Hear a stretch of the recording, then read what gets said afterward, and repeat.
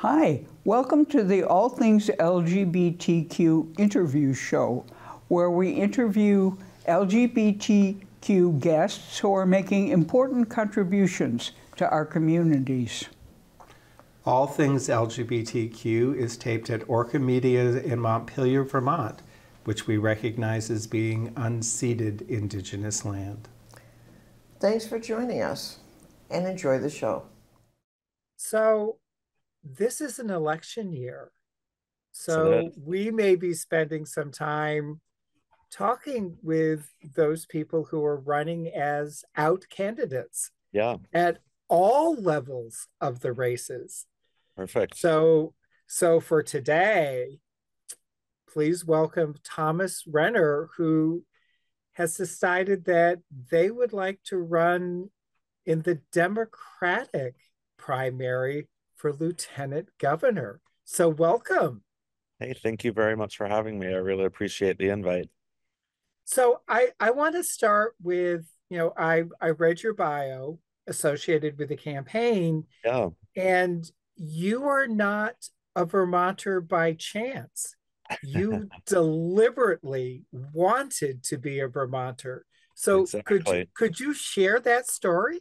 Yeah, I certainly can. Um, yeah, you know, I am one of those people who has made Vermont my chosen home. It was an, an effort that I definitely undertook. Um, so my um my parents are divorced. My dad lives in South Burlington. So ever since I was a kid, I spent my summers and my winter breaks coming to Vermont and, you know, enjoying both very different seasons and everything that they have to offer. So when time rolled around for, you know, me to start thinking about colleges, it was really just, will I go to Champlain, St. Mike's, or UVM? I knew that I wanted to be in Vermont. Um, so, you know, applied to the three of them. Um, and decided to go with UVM. It was uh, kind of the best fit for me for you know financial reasons, the programs they had. So did did four awesome awesome years at UVM, and then you know, another choice. I made another choice to stay here. I, out of the college that I was in, the College of Agriculture and Life Sciences, there weren't many of us that stayed in Vermont. Most most people, and especially in my friend group, I was the only one who stayed in Vermont. Everybody else moved to Boston or New York City or L- L.A. And um, I had interned for Senator Patrick Leahy and just before graduation and i was like no like i really want to stay here gonna see if i can find a job in vermont and i started looking around for different jobs and um, i think it was you know just a couple weeks after graduation i got a call from senator leahy's um, state director and he said thomas we really want to interview you and see if you want to work in the office and i was like sure definitely uh, interviewed with them and i started um, right after July 4th weekend, actually, back in 2014, uh, started my career working for Senator Leahy. And, um, you know, even during when I was working for him, thought about going down to DC a couple times, see if I wanted to do the DC staffer thing. Uh, thankfully, I just got to travel there a lot and I didn't have to leave Vermont. And now I'm living in Winooski with my husband and our dog and uh, some chickens. And we can't really um, envision ever leaving. So, so chickens, you're you're maintaining your agricultural degree and putting it into practice. Exactly. Okay, so when you were working with Patrick Leahy, did that sort of give you a taste of politics, and you said, you know, I want to do more with this? Yeah, exactly, exactly. You know, when so I'm a, I was a communications major at UVM, and I thought I was going to do you know public relations or marketing, something like that, and as I was at UVM and seeing the career options and I did some, you know, internships in the PR field, I was like, well, this stuff doesn't really matter, you know, like, you know, selling Nike shoes, somebody's got to do it, but it doesn't really matter. And that's why I decided to intern for Senator Leahy. And yeah, while I was there, just seeing, you know, the senator up front and seeing how he you know, handled policy, worked across the aisle with Republicans, worked with anybody in the Democratic Party to make sure that he could do the best for Vermonters. I was like, okay, this is this is the way that you can make change and impact your your fellow Vermonter. So uh, yeah, ever since working for him, I was like, yeah, I think politics is is what I want to do and be involved in. So were there any specific issues that you worked on from within Patrick's office that you would like to share? Yeah, so one thing, um, the work, you know, you know, Vermont offices do a lot of constituent work. So helping Vermonters navigate federal bureaucracy, which uh, is quite a bit. And um, you know, my my husband's a veteran, and the work that Senator Leahy did for veterans in Vermont is something that I was just so proud to to be even a small part of that and to assist there. And when I started working for Congresswoman Becca Balint about a year and a half ago, um, and she asked, you know, what issues I wanted to cover, Veterans Affairs was one of them because it's just so important to take care of the folks who have literally signed up to, you know, give our country everything. Um, Senator Leahy did a fantastic job working with veterans and, you know, writing bills for them, making sure that the VA was protected and enforced. Um, and then and then the local work is just it was so amazing to see what we could do. So um, that's one thing I really took away and, and, and want to continue to do in, in my political service. So, did you work with Becca after she was elected and in her office, or were you part of the campaign staff? So I was not part of the campaign staff. Um, you know, as a member of the Winooski City Council, I endorsed Becca, showed her around Winooski a bunch, um, and really went to, you know, marched a lot of parades with her, and, and that was really great. And that's where I got to know Becca really well. Um, and then again, you know, once she was building her staff, I got a phone call asking if I would like to work in her office, and um, it, it, was a great, great experience. Okay, so what did you do in Becca's office? Yeah, so um, I covered a variety of issues: uh, climate, energy, um, agriculture, transportation, and uh, veter veterans issues. So, since you were you've mentioned the Winooski City Council, and we're going to circle back Yeah, to that yeah. because I I would really like to talk about that experience. So I take it you were in the Vermont office since you were also on the city council, so you would Correct. need to stay close to home. Yeah, yeah, yeah. They had asked if I'd have any interest in going to DC, and I was like, nope, not not leave, not leaving Vermont, but definitely want to be a part of helping Becca do the great work I know she wants to do. Okay, so being a Vermonter was a deliberate process. Yeah. Was picking Winooski as deliberate process? You know, it's a funny story. It is, um, as most folks, we thankfully bought our home before it became really difficult to buy a home in Vermont. Um, so we were looking in South Burlington and, and Winooski. Uh, we had previously lived in Colchester, and um, my like I had mentioned, my dad and my stepmother they live in uh, South Burlington, so we kind of thought it might be nice to be close to them. My husband uh, was born and raised in Winooski, so I don't think he necessarily thought maybe that we that he would settle here again. Uh, but we found this great house and fell absolutely in love with it. It's kind of one of those moments where, you know, we we walked in and it was like, oh, this feels like us, and we stepped out back and we could see the dogs running around out back, and we just knew that that it was where we had to be. I was going to say you you picked the house for the dogs. I could just tell. Yeah. Oh, a hundred, a hundred percent. Okay, so you had an experience with working with Patrick Leahy, with Becca Balint. Is that what sort of drove you to decide you wanted to run for the Winooski City Council, or was there something happening in Winooski that made you feel as though you wanted to have more of an active involvement in that process? Yeah, so I, you know, I like I had said, I kind of have been seeking, you know, since my internship with Senator Leahy, a way to help Vermonters, and I didn't necessarily know how I was going to get there, but when we were living here in Winooski, I was feeling like I had time. I should be helping more. I should be doing more. And Winooski has this uh, commission set up where uh, there are various commissions that help advise city council essentially. And it's, you know, it's not a, an office that you run for. You apply, uh, you get interviewed by city council members and city staff members, and then you get appointed. So I applied um, to be on the Safe, Healthy, Connected People Commission, which essentially kind of oversees the fire department, the police department, um, as well as you know city parks. And uh, the idea is, you know, trying to make sure that Winooski is a city that continues to have a community feeling. Um, and that was fantastic work, and I really liked it. Um, and each uh, commission is overseen by a member of council. The member of council that oversaw my commission was um, Hal Colston, who was a city councilor and a state representative. Um, Hal was thinking about retirement. He's now retired now, and um, he had mentioned to me that he was going to retire and that you know I should consider running for city council because he could see me as uh, somebody who would be good in the role. Um, so that's what I did. You know, he he he told everyone he was stepping down publicly, and I started to launch a campaign and started running. And uh, thankfully, thankfully, the voters of Winooski thought I'd be a good guy on on council, and they elected me. And uh, the rest is history. well, I was going to say, not only did they elect you, but with that election, Winooski became one of only three all LGBTQ plus city councils in the country. It actually wasn't that election. It was the election for it was two years after, a year after. Oh, okay. Yes, yeah. So when I came on, um, Councilor Bryn Oakleaf, um, who was a queer woman, was already on council, uh, but there was another gentleman who, um, very fan, very very nice man, but not not not a member of our community uh, was on council as well. So when I came on, we added another LGBTQ plus person. Um, and then the year, oh, I should say, the year that I came on, Aurora Heard also came on, and she is a member of our community. So it was now three of us. And then there was this one gentleman who was left. Uh, he decided to step down uh, the following uh, election season.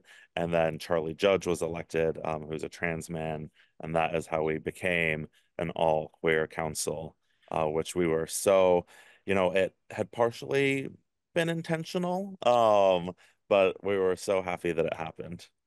So, and this may not be, is there a difference having an all out council versus some of the traditional councils that we've seen around Vermont? Yeah, you know, I think that you know, when, when this all happens, you know, articles were coming out on WCAX, Digger, you know, some national articles, and you know, some of the comments, of course, were you know not very tasteful and would you know make you know for some of just for to be PC, you know, some of the comments were like, it, you know, it doesn't matter that they're queer, are they actually, you know, good people? And um, you know, yes, we are all good people and we're all qualified to run for office, and that's why we did it. We happen to also all be a great group of LGBTQ folks. But what I think is really important, um, you know, when you're electing any, you know, minority or marginalized group, is we have a different understanding of the world and we've seen the world differently. Um, and that can correlate to things, right? Like if you are, you know, you know, I, I happen to be gay and black, but you know, for my you know, for my white queer council members, you know, they may not, they can't 100% identify with the Black experience, but they know what it's like to be part of a group that has been held down and you've had to have your voice, you know, has been quietened. Um, so they understand that maybe better than, you know, somebody, you know, than you know, my white male straight councilors um, who were previously on the board, you know, and not that they can't be allies and not that they can't be champions of, you know, marginalized groups, but they don't have that understanding.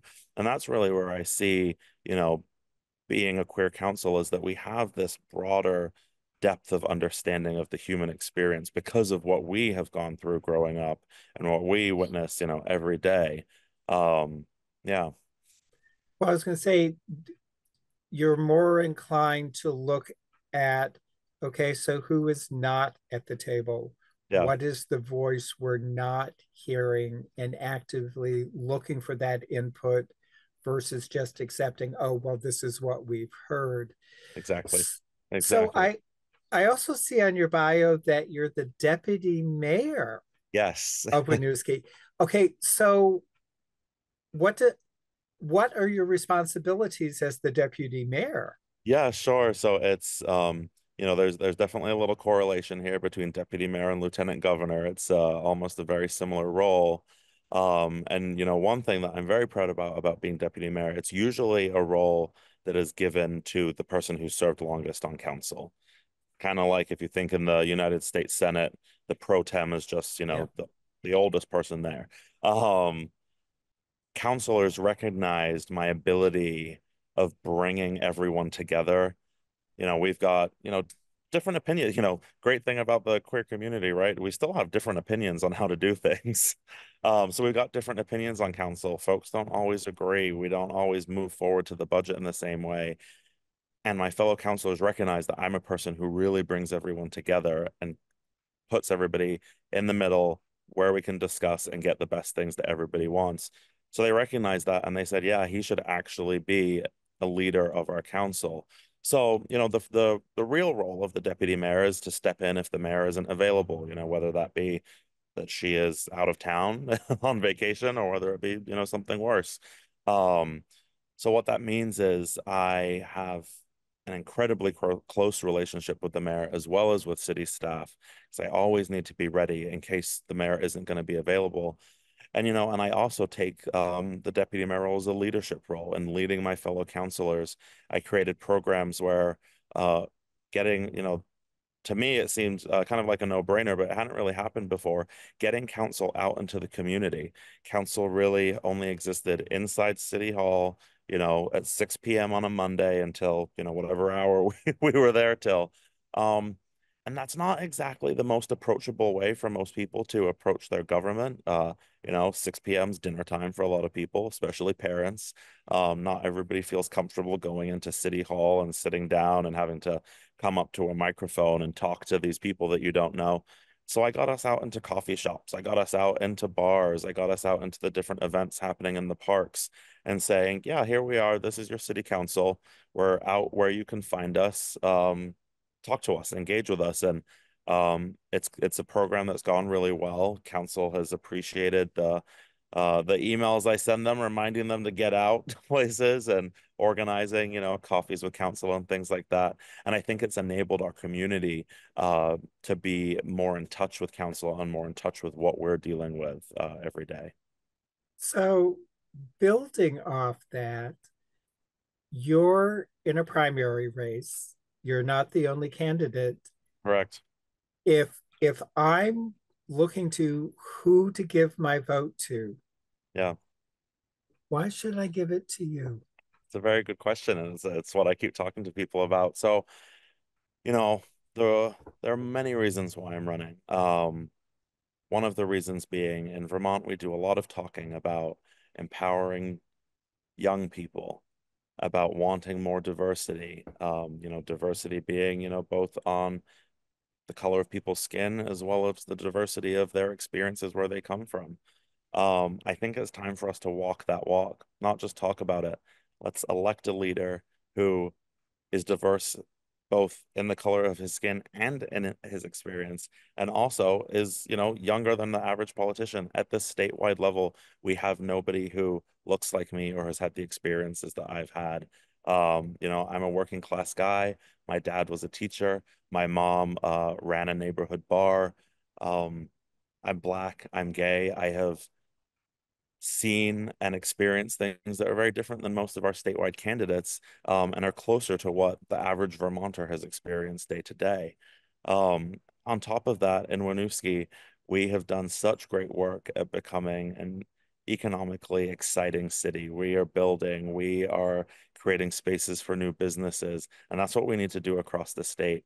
We need to make our main streets great streets. And that's something that we've we've done well in Winooski. We have this great model. Um, there's more that we can do. We want to build more. We want to bring more people into Winooski because uh, we know that people want to come here and people want to stay here and move to to different types of homes. Um, you know, if we had more land in Winooski, I could only imagine what we would have done by now.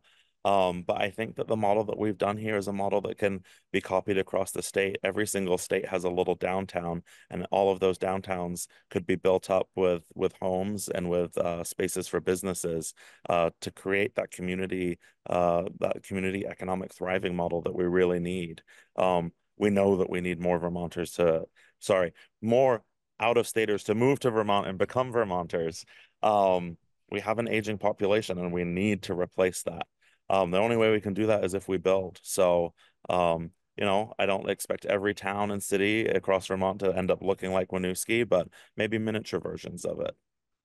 So I hear an implied reference to creating affordable housing and outreach, you know, sort of promoting this is who Vermont is, and don't yeah. you want to become part of our community? When you become lieutenant governor, what is your top priority? Well, my top priorities are because there's a lot of them, but the top ones are are housing and affordability. And I see them tied into so many things. You know, we, we all talk about housing, but what I really think is interesting is how it ties into many of the problems we have in Vermont. You know, we have a healthcare provider shortage. Uh, what's a big part of that shortage? The hospitals across Vermont recruit great doctors and nurses to come here, and then their contracts get up to the point where they're about to move and they can't find anywhere to live. Um, we can build afford we need to and must build more affordable housing. But as it turns out a doctor doesn't qualify for affordable housing. So we need to talk about building all types of housing. Uh, we need affordable housing. We need middle market housing. We need housing for people with a lot of money. And what we really need as well is housing for um, elderly folks that is before they transition to a you know nurse skilled facility. There are folks uh, living right here in Winooski that I've spoken to who are in their 70s living in the home that they brought their family up in four bedroom three bathroom home kind of thing. And it's just them you know two of them or one person sitting in this home. And they don't want to be there anymore. They don't want to upkeep this big four bedroom house but there's nowhere for them to go um in an in a in a setting after that. So they just they stay there. Um so we need to be building all types of homes and it ties into so many different issues. Once we have more more homes here, home prices will go down. People can move to Vermont. People who are in apartments can say, "Oh, they're actually building homes for, you know, working class uh, people to buy." We can finally own our own home and start building equity and start growing our personal economics. Um, the housing crisis ties into so much. So it, it has to be my top issue, and I, I, it should be every politician in Vermont's top issue as well. Okay, and with that, I'm looking forward to seeing you out on the parade route, talking with you at the corner cafe. Yeah. And being able to vote in the primary. Yeah, yeah. I've been on some parades already. Um, I did I've marched parades for years because there's always been candidates that I've been interested in, you know, done parades with Senator Leahy, Congresswoman Balint. Um, I didn't realize how exhausting it was being the person in front of the banner running around handing out candy and shaking hands. So I was exhausted after Memorial Day and um but I, I, I really love parades. I think it's a great way to like get out and see people. Um and it's just it's just fun right? Like who doesn't love like you see all these kids excited for the candy that you're going to give out and it's just a good day. And and people remember he shook my hand he and he talked to me. Yeah. So uh, the impact that that has. Okay with that we will make sure that you know we we get your campaign side up. So if there are people who want to become more actively involved yeah or perhaps put a lawn sign in front of their home. yes, there they is have a, a there is a section on the that. website for lawn sign requests. and and you may have already gotten one. So, Perfect.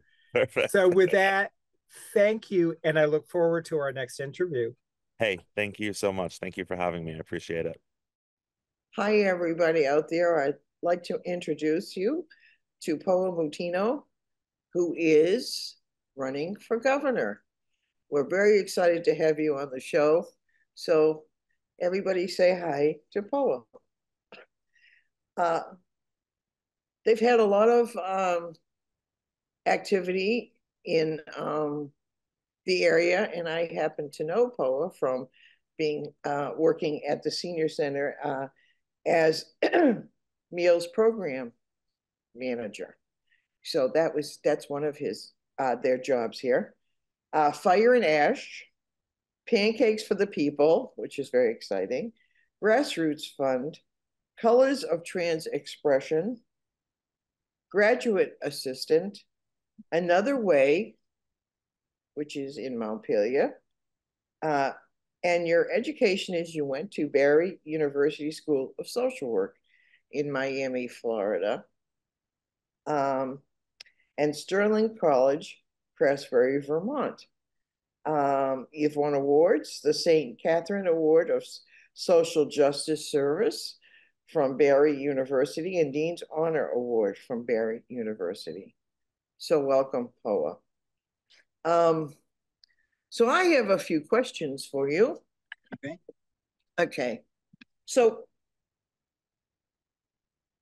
of all the things you could have done, Why, Governor? Why did you decide to run? I had a formative last week of March, and one of the first things I did that week was go to a youth walkout from Montpelier High School for Palestine. And I listened to the youth speakers at the mic, and one of them in particular, whose name is Veda, uh, said, one, that if you're a feminist and you're not outraged at what's going on in Palestine, then you need to look again at your feminism. And she went on to say this about a number of other um, intersections, and I really found her to be um, just spot on. And she said that there wasn't anybody um, in the state house who she felt like represented her. And later that week, I went to hear Senator Sanders speak at the Waterbury Area Senior Center. Um, and then I went to see Bess O'Brien's film, Just Getting By. And I also went to the Outright um, Day of Leadership at the State House. And all of this youth energy and all of this older adult energy were sort of saturated my week. And at the end of the week, I asked my um, boss, I said, Do you know if there's anybody running to oppose Phil Scott for governor this year? And he said, Not that I know of. And uh, by the next week, uh, which was the week of my 34th birthday, I decided that I would be governor one day.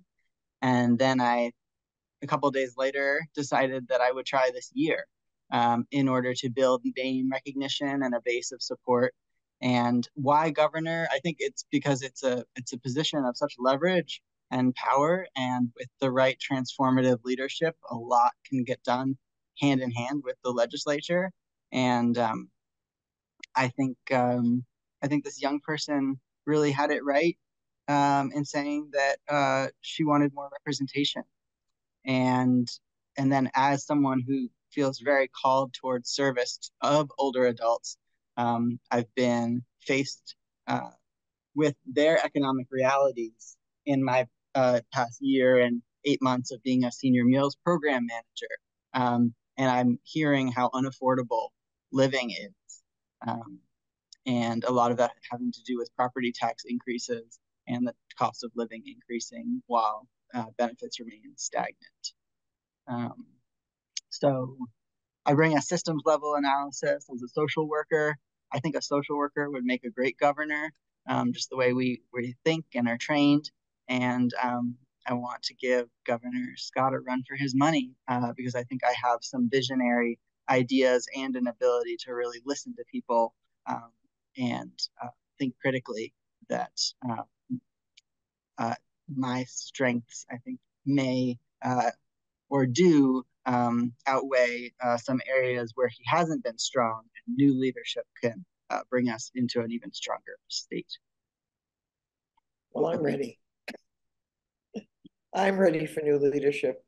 Um, he's not going to be easy to beat. Uh, but as you say, you'll gain recognition and name, and um, I think that's a good thing. Um, so if you could sit down with any politician, living or dead, for like a couple of hours just to pick their brains about what they would do and how they would do it, who would it be? I having just given this this moment's thought, think that Nelson Mandela would be an honor and a privilege to talk to. Um, I heard an analysis of politicians of him being one who whose integrity didn't change once he gained political office, and he had um, apartheid to address as like the primary trauma of the people who he was elected to serve. Um, and I think we, I think I would just have the most to learn uh, from him uh, of anybody in recent memory that I can think of who took political office um, for the grit that um, he has he has in his character and the enormous responsibility of being a spokesperson and a leader um, with so much racial division and class division uh, and atrocity that um, South Africa experienced. It's a great one. yeah. Um, so as you know, Vermont has a 20% population of people 65 years and older. And, you know, one of the problems I think that, you know, maybe you could, you know, address this issue along with that is that a lot of older people would move out of their houses if there was a place for them to go. And so part of the problem is like young people can't buy houses because people are hanging on to them because there really isn't any place affordable for them to go when they sell their homes. So they just stay there. So, you know, how, how would you address this issue? And how would you get older people to um, vote for you? Well, you just posed a great a solution within a problem of uh, homes that are sometimes too big for the older adults living in them, and then younger families who need homes. Period of any. You know, there's just an absolute shortage of housing. So, uh, and I've heard older adults in uh, the Montpelier area say that they um, can't afford to stay, but they also have nowhere to go. And so that's a question that I would pose back to um, older adults through uh, polling and, and conversation and listening sessions like Senator Welch and Sanders do, um, and and find out um, if we are to build housing that is centered on the needs of older adults. Uh, where should it be? How congregate do people want to live? How much independence do they need? Um, I think um, already um, a lot of folks like to uh, come into town where they're close to services such as the grocery store, the pharmacy, doctor's office. Um, and so, and, and also really having in aging in mind for urban development. It's so overlooked. And I saw this beautiful quote um, that if we made our cities aging informed, everybody would enjoy them. Mm-hmm. If an older person can navigate a space with ease, um, it's going to make it easier for everybody else to navigate that space um, easily. Um, so that's not a question um, so much about housing, but more about just how how we're thinking about and designing um, spaces. And uh, in order to fund the solutions to the housing crisis, one idea that I was thinking about with Christine Hallquist um, the other week was a tax credit for wealthier Vermonters um, if a portion of their money can go, if and when they spend money on affordable housing. So, building more, I believe in lifting certain restrictions um, so that urban housing it can be built more quickly with less permitting, um, not still while still protecting the the integrity that um, Act 250 um, has afforded our state in its history. Um, yeah, and, and the thing is that Vermonters really care about each other, and I think that we are often in a scarcity mentality. Um, and um, we can think more about our strengths than about uh, what we don't have um, as we come together to solve um, housing as, as a major state issue. And interestingly, the number one issue when polled for Vermonters this legislative season is taxing. So keeping folks feeling safe in themselves and their finances that the uh, state is not going to increase taxes in order to solve problems, but finding ways where people who can't afford to pay more taxes will not pay more, but people who can afford to pay more do in order to solve these these intense problems of the day. And you know, there is a. Um, I know that Vermont has like, if you're under a certain income, you don't you pay less in taxes. Uh, there is some of that, but there are some states that have um, once you reach 65, your taxes will never go up again. Um, it'll always be at the rate you paid. You pay at 65 until you either sell the house or give it up or, you know, move somewhere else and sell it. So, you know, I don't know. It's just like one way other states have found to um, keep, you know, to, to keep the cost of taxes going up on people who can afford can't afford it. Of course, there are many people in uh, who aren't seniors who have the same issue. Um, you'd have to have different resolutions for that, but Mhm. um, okay. One thing I'm always interested in, and I I never quite get to work on it, but um, I'm really interested in what some other states have done, like Massachusetts, Pennsylvania, California, Florida, um, have LGBTQ senior housing. Um, and it's it's it's senior, but it's also, you know, um, disability, um, section eight, um, and and different uh, populations. Um, and I is that something that would interest you if you were elected governor? It really does. It, it has interested me before my ambition into politics, um, which is um, intergenerational housing and like affinity housing, just like that, because uh, social isolation is as much of um, a shortener of lifespans as uh, any number of um, other health risks. Um, it's like the stress of caregiving, the stress of loneliness will make your life shorter and um, and make the last your last years which, which are meant to be a time of generativity reflection giving back being in community um, and it can make them so much so much more uh, painful and, and and and like i said stressful. So by bringing people into community um, we are giving them another another leash on life lease on life. Um, and uh, so that's something i absolutely would support um, uh, incentives for And um, we know governors can't do everything. And in fact, you know, like people always get the perception that, oh, it's President Biden's fault or it's, you know, this governor's fault or that. We know that you can't do everything as governor. You have to work with the legislature.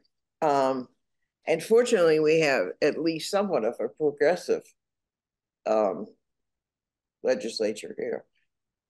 But how would you, how would you feel you'd work with the legislature? Would you say, you know, hey, somebody, can you uh, sponsor this bill? Or would you just sort of uh, hope that people do and promote that, those different programs? So how would you work with the legislature? And where would you get the money? You know, that's the thing, uh-huh. you know? well my attitude toward the legislature would be one of just like a spirit of enthusiasm um, i think it's a shame right now that governor scott is drawing these adversarial lines um, and, and saying that the legislature is doing things that are going to harm vermonters and that we should vote in more moderate legislators who will get along with him better but instead i'm looking at him and his the power of the fact that he's not just one person. He has an executive team a budget for that team. I would be i'm a realist also. So whatever legislation that the house is working on i would be asking how i can support them. Seeing things from my own perspective adding my views. I would want the legislators to be as amenable as possible to the executive team and the expertise that of the different people um, that I would have the opportunity to hire so that we are i'm like a shepherd for these different bills. Um, i want the best ones to pass to my desk so that i can proudly sign them.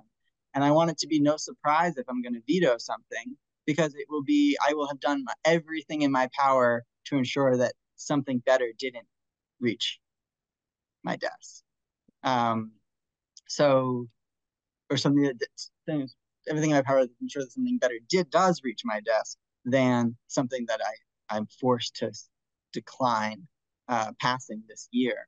Um, for example, the pollinator bill uh, that came up around an agricultural uh, pesticide that affects seeds for corn. Um, this is something that Quebec and I believe Vermont have already uh, had this legislation and banned this pesticide Mhm. or fungicide. I haven't looked at it again recently. Um, if and, and so Governor Scott vetoed it, saying it didn't protect the farmers enough. Right. But he just had the whole session in which he could have been helping that legislation be stronger to protect the farmers. Uh, so I just I don't. There's some things where uh, these red red flags go off for me with the, the, things that he says, where I'm like, but isn't that in your control to some degree to make the best legislation possible during the leg- whole legislative session so that you have the ability to pass things proudly into law Yeah. as something that you collaborated on. So what will you do on day one? Besides jump up and down and say hallelujah. oh, good question. I mean, I'm I'm a pr- practitioner of somatics, so I'll just be like paying attention to my body, taking it slow. Um, I will have already had a whole period of time of being elected until my first day to make plans. So I will be surrounding myself with an exceptional team and starting off day one with communication and a press release and letting uh, a press conference, letting everybody know um, what I'm here to do and, and that I'm here for them. As a social worker, I think about people as clients if they're uh, um, looking to me for services.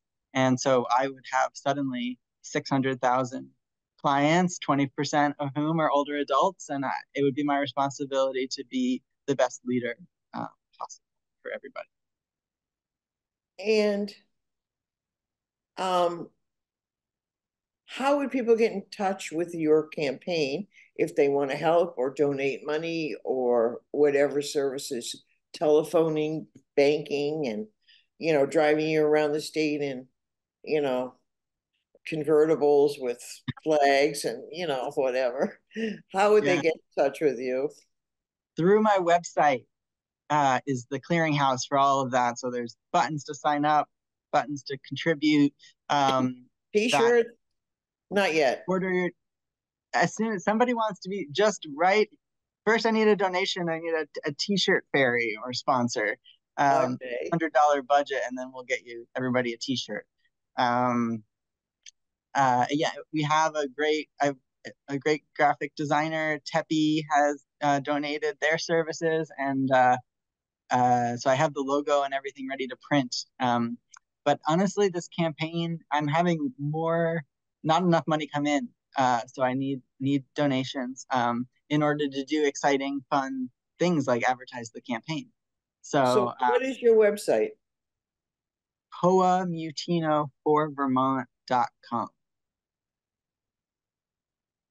Okay.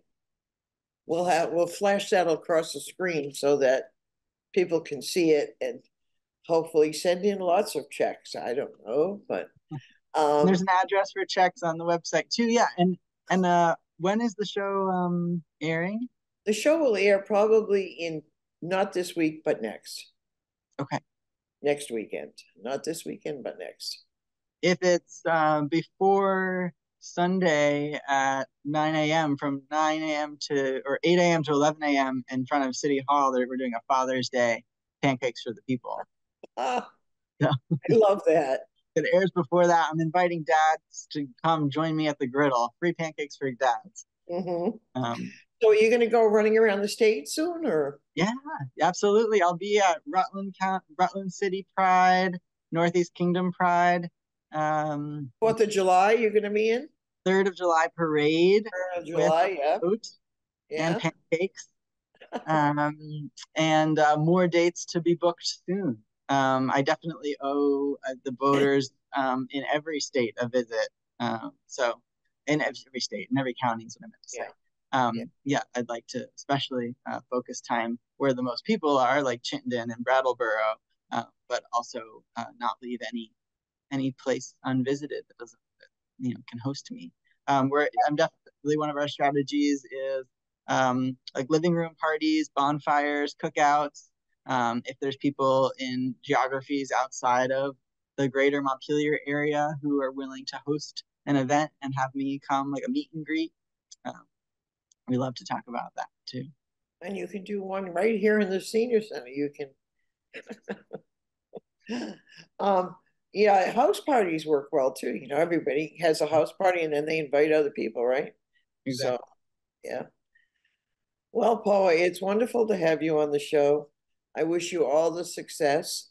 I'm a big fan and supporter, and um, we'll see you soon around the hood.